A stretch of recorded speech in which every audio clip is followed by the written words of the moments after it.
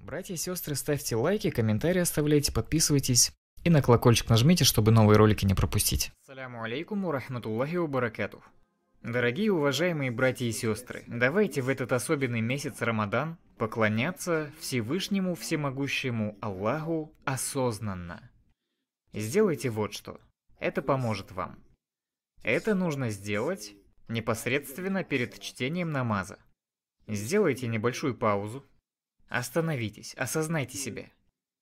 Подумайте, поразмышляйте, подышите. Подумайте, что Аллах смотрит на вас. Аллах смотрит на меня. Аллах смотрит на меня. Вот это в уме удерживайте. Подумайте о том, что вы сейчас будете стоять перед Аллахом Всемогущен Велик. Задумайтесь об этом. Представьте, что на этом месте вы перед Аллахом будете стоять так, словно уже судный день, и Он спрашивает с вас. У меня есть шанс. Аллах дал мне возможность прочитать несколько ракатов намаза. Сконцентрируйтесь на этом. Почитайте зикр. Просто говорите «Ля иляха илляллах, ля иляха илляллах, ля иляха илляллах». Вспомните об Аллахе. Если вы на это потратите пару минут или минуту, хотя бы две минуты потратьте, хоть минуту, сделайте так. Представьте, что вы сейчас стоите в судный день перед Аллахом. Или представьте, что вы были на судном дне, и Аллах отправил вас назад, чтобы прочитать этот намаз, и вы сразу вернетесь обратно на судный день. И Аллах оценит этот мой намаз. Я сделал его для тебя. Если будете так делать, жизнь изменится. Поверьте, если мы с вами вот так намаз будем читать, жизнь наша изменится. Весь ваш подход ко всем видам поклонения в исламе поменяется. Рамаданы твои будут лучшим временем для тебя, поверь. Уровень твоей веры, имана, поднимется. Ты почувствуешь. Почувствуешь, что полагаешься на Аллаха. Ислам для тебя вдруг станет чем-то большим, более глубоким. Ты будешь наслаждаться исламом. Ты будешь осознанно, вовлеченно поклоняться. Это будет нравиться. Ты почувствуешь, что сильнее стал тянуться к исламу. Ты начнешь чувствовать вкус ислама. Почему? Потому что ты подключишь разум к поклонению Аллаху в намазах. Есть сотни, тысячи, миллионы мусульман, которые не делают того, о чем я сказал. В итоге у них и жизнь соответствующая. Молятся, но сердцем не подключены к поклонению. Давайте мы с вами, все, будем подключаться разумом в поклонении. Будем участвовать в нем сердцем. Сделай этот Рамадан другим. Ассаляму алейкум.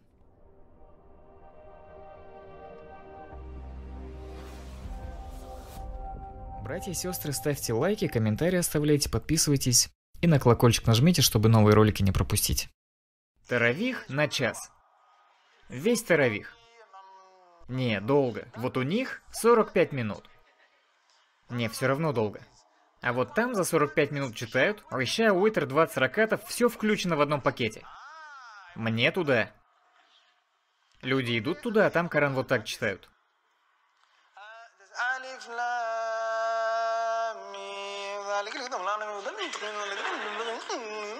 Единственное, что можно разобрать...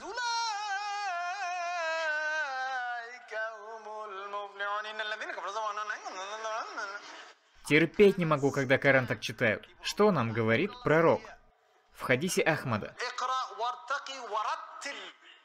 Читай Коран размеренно. Так же, как ты его читал в мирской жизни. Вот смотри, машина грязная, чем очищать будешь? Водой. Одежду грязную чем чистишь? Мылом, водой. Тарелки грязные как чистишь? Водой. А если где-нибудь на улице в дерьмо наступишь, чем будешь очищать? Ботинки почищу. А босиком наступишь, как очистишь? Ну как, ногу помою водой. А чё тебе просто не взять бумагу туалетную и ногу не протереть?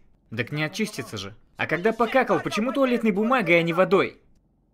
Не знаю, брат. А кто ты такой, чтобы так говорить? Нет, ну вот скажи, почему туалетная бумага, а не вода? Ну это, я же не могу просто взять и помыть. Нет, можешь, вот этой штукой. Да как ей помоешь-то? Как? Так вот, а ты попробуй. Наливаешь сюда воду и подмываешься. Рука же занята. Одной льешь, другой подмываешься. Трогать же придется. Так ты и через бумагу трогаешь.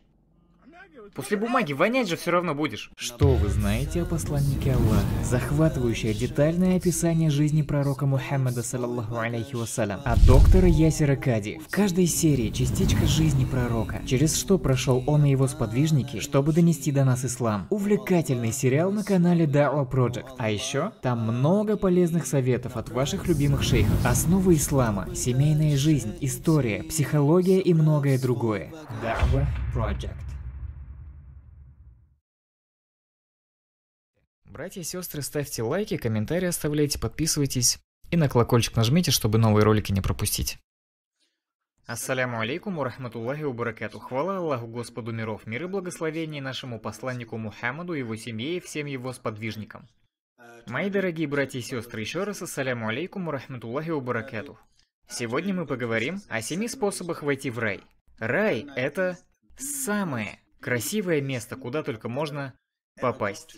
Мы не видели рая, только слышали о нем.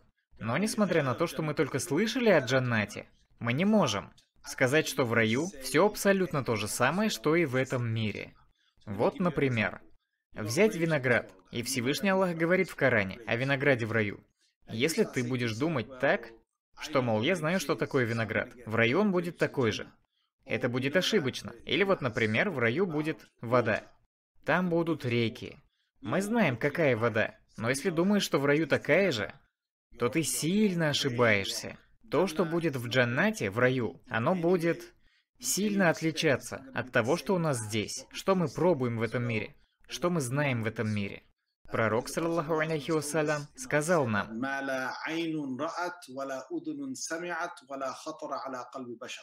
ни один глаз не видел ничего подобного, ни одно ухо не слышало ничего подобного, и ни одно сердце подобного не чувствовало. Только пророк Мухаммад, саллаху алейхи вассалям, видел рай, Аллах показал ему. Во время вознесения на небеса, Аллах Всемогущий Велик показал ему рай. Он своими глазами видел, каков рай. Аллах показал ему рай и вернул его обратно. А то, о чем нам рассказали Аллах и его посланник, то, что будет в раю, оно будет не таким, как в этом мире.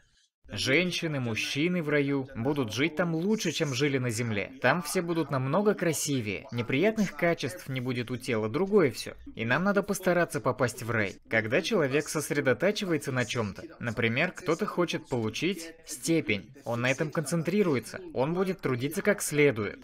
Но и от степени тоже зависит, на которую претендуете. То же самое и рай. Мы в этом мире трудимся, чтобы заслужить рай. Кто-то попадет в рай Мауа, кто-то в сады Эдема, а кто-то в высший рай Фердаус. Надо стараться изо всех сил, чтобы не только попасть в рай, но и попасть на высшую ступень рая.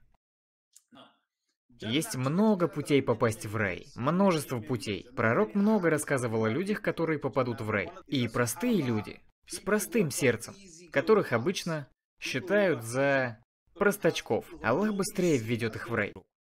Братья и сестры, ставьте лайки, комментарии оставляйте, подписывайтесь. И на колокольчик нажмите, чтобы новые ролики не пропустить. Да будет доволен ими Аллах. Тоже знали друг о друге. Они тоже участвовали в гонке. И Аллах за это восхвалил их в Коране. Аллах говорит,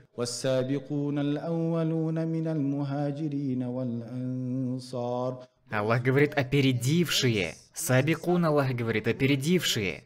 То есть они были первыми. Аллах здесь говорит о двух качествах. Во-первых, то, что они участвовали в гонке, в соревновании, в добрых делах. И второе, то, что они соревновались для того, чтобы стать самыми первыми. Во-первых, в качестве, и если получится, в количестве. Но за количеством они не гнались. Они гнались за качеством. Я докажу вам, что это так. Если бы сподвижники гнались за количеством, я же вам говорил, что Абдулла, сын Амра, прочитывал Весь Коран за ночь, пока пророк его не остановил. Если бы сподвижники гнались за качеством, они бы старались обогнать его в этом. Когда пророк, саллаллаху алейхи вассалям, сказал Абдулле, что разрешает ему прочитывать Коран только раз в неделю, Абдулле бин Амру пришлось притормозить себя, чтобы Коран прочитывать только за неделю. И сподвижники с Абдуллой в этом моменте не соперничали. Большинство сахабов прочитывали Коран раз в месяц. Поэтому Коран и поделен на 30 частей. Так и получилось, что в Коране 30 джузов. Аллах этого не спосылал. Ангел Джибриль пророку об этом не говорил. О том, с какого аята начинается или заканчивается очередная 30 часть. Сахабы обычно в этих местах останавливались. И когда сахабы собирали Коран, они знали, что на этих местах обычно останавливаются. Большинство сподвижников пророка прочитывали одну тридцатую часть Корана в день. Знаете почему? Потому что они упор делали на качество. Некоторые и на количество тоже. Как, например, Абдуллах Ибн Амр Ибн Аль-Ас. Так вот, Аллах говорит опередившие, те, кто в гонке. Это первое качество сподвижников пророка. Во-вторых, Аллах говорит быть первыми в плане качества. Так Аллах называет их. Мухаджирин, переселенцы, те, кто переселились к Аллаху и его посланнику. Из Мекки в Медину – это одно их качество. Второе, Аллах говорит ансар. Это те, кто помог пророку в Медине, когда он со сподвижниками пришел в Медину. То есть Аллах хорошо отозвался о мухаджирах и ансарах. Казалось бы, нам не догнать мухаджиров, не догнать ансаров, но на самом деле мы можем. Можем. В вечной жизни мы можем сравняться с ними. Аллаху Акбар. Мы родились не в то время, когда пророк переселялся. Никогда ему в Медине помогли. Мы не во времена пророка живем. Но в вечной жизни вы можете быть на одной степени с мухаджирами и ансарами. Почему? Потому что в этом же аяте, в суре Ат-Тауба, покаяние, 9 сура, сотый аят, там Аллах говорит, и те, которые последовали за ними в их совершенном поклонении. Если мы воспитаем в себе одно из качеств сподвижников, какой бы то ни было, если будем стараться подражать им, насколько получится, насколько сможем. И после упоминания мухаджиров, ансаров и их последователей, после этого Аллах говорит, мухаджирами, ансарами и теми, кто последовал за ними до судного дня, Аллах говорит, Аллах доволен ими, и они довольны Аллахом. Я доволен ими, и они довольны мной. Мой брат, моя сестра, если хочешь стать таким человеком, о котором Аллах сказал в Коране, Аллах доволен ими, и они довольны Аллахом, следуй за сподвижниками пророка. Об этом Аллах и говорит в аяте. А те, кто проклинает сахабов, те сбились с пути. Кто не видит в сахабах пример для подражания, те сбились с пути. Аллах сказал нам брать пример со сподвижников – Аллах учит нас следовать за ними. И в конце этого аята Аллах говорит, Аллах приготовил для них райские сады, в которых текут реки. Аллах говорит, что рай нам дарует, вместе с сахабами, если будем брать с них пример. Говорит Аллах в Священном Коране. Если будете веровать так, как веровали сподвижники пророка, Аллах наставит вас на прямой путь. Братья и сестры, ставьте лайки, комментарии оставляйте, подписывайтесь и на колокольчик нажмите, чтобы новые ролики не пропустить.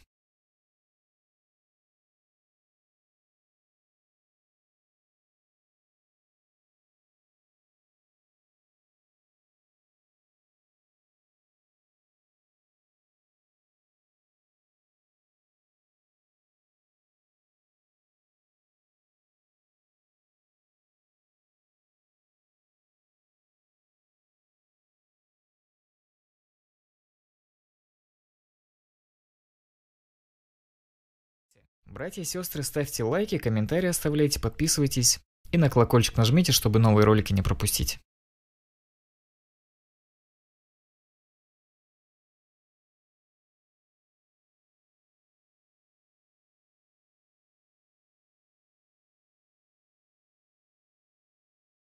Братья и сестры, ставьте лайки, комментарии оставляйте, подписывайтесь и на колокольчик нажмите, чтобы новые ролики не пропустить.